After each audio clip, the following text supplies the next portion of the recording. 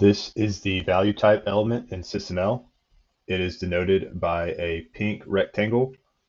It is used on the block definition diagram, which is a structural diagram, to type value properties.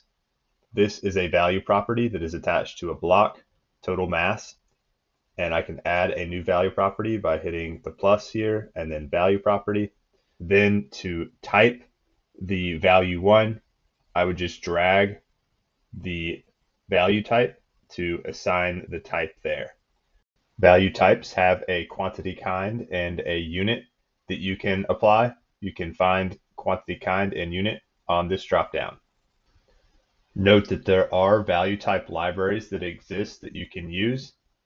If you want some more documentation, go to the SysML profile, scroll down to value type, and then select documentation. You can read about the value type here.